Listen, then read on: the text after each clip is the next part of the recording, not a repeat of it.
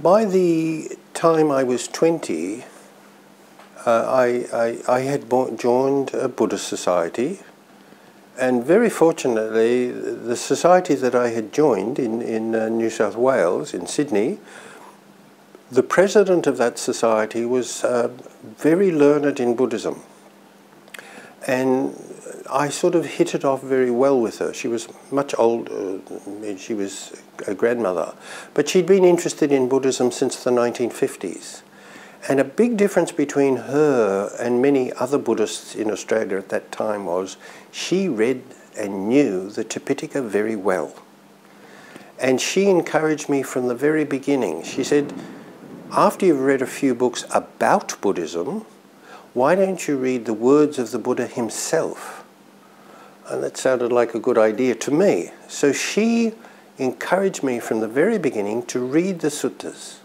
And that advice of hers has stayed with me ever since. And I'm very grateful for that guidance that she gave me because I think it has held me in good stead. So I joined the Buddhist Society. Then I, I, I started reading the suttas. Um, I think at that time, if I remember correctly, the, one of the first Buddhist monks came to Australia, Venerable Khantipalo.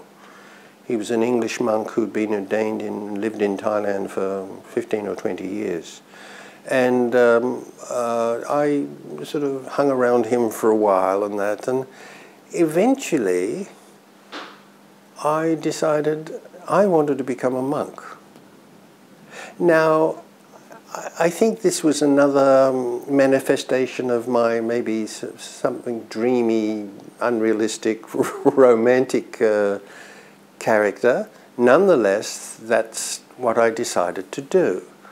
So I had a job for a short period of time and I had enough money.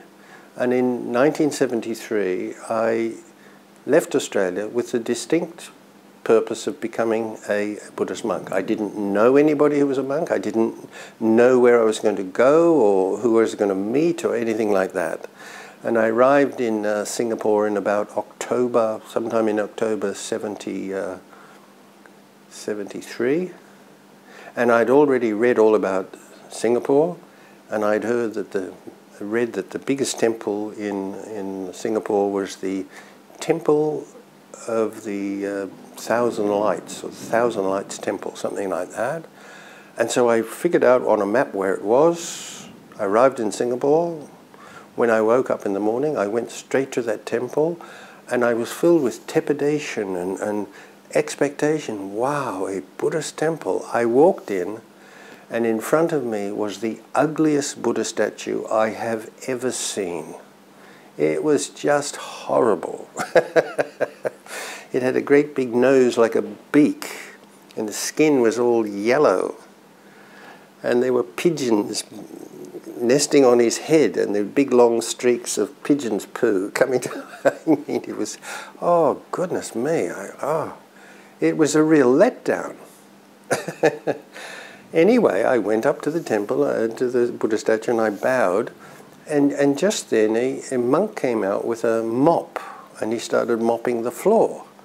And I thought, wow, if you're a real Buddhist monk. So I went up and bowed to him, and he just sort of said, yes, yes, yes, donation box.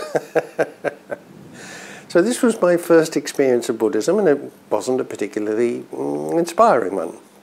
Anyway, a few days later, I, I made my way to KL, I can't remember what I did there. And then I made my way to Penang. And I went to uh, a large Buddhist temple there. Uh, it's a huge Thai temple with a big reclining Buddha statue in it. And I'd have to tell you that I, I didn't find it particularly inspiring either. There was a monk there mm, basically collecting red packets. I, you know, Anyway, I, I bowed and I looked around and it was nothing. But then a, a, young man came up to me and we talked and he said he was a Buddhist and I said, this is not a very, not a very inspiring place. And he said, well, he went to a particular temple which I might like to visit. So I said, yeah. Uh, he took me to Mahindaram and as we entered the gate, I saw a tree and I said, Is that a Bodhi tree? He said, Yeah. I said, Wow. I was really filled with awe. Wow, a real Bodhi tree.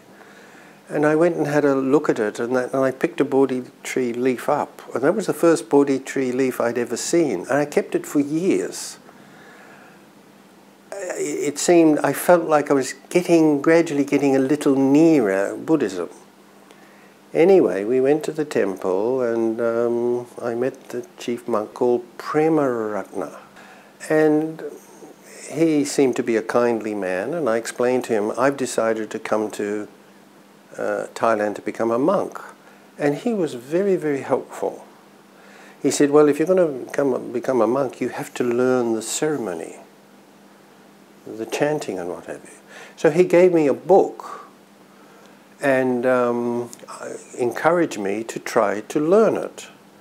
And I stayed there for about five days, I think it was. Um, so each afternoon I would go to him and he'd tell me if I'd got the pronunciation right. And so that was my beginning of, of learning the ordination ceremony. Huh? And once again, I remember him with great fondness many, many years later because he took time to help a complete stranger who had a, a, a vision and an ideal. Huh? Anyway, during the day, this other young man, I can't remember his name, he, we went and visited the big Chinese temple up on Penang Hill and some other places. I thought Penang was such a lovely, quiet, sleepy town in those days. So after that, I, I um, went over to Butterworth and took the train to Bangkok. Um, and um, on the train up there,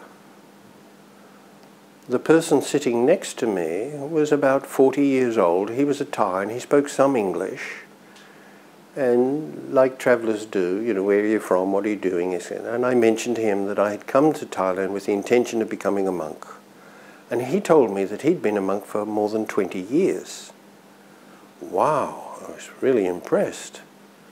And he told me that he had disrobed recently because he was deeply concerned about the political situation in Thailand at that time, particularly the presence of the American Army and the American Air Force in, the, in, in, in Thailand.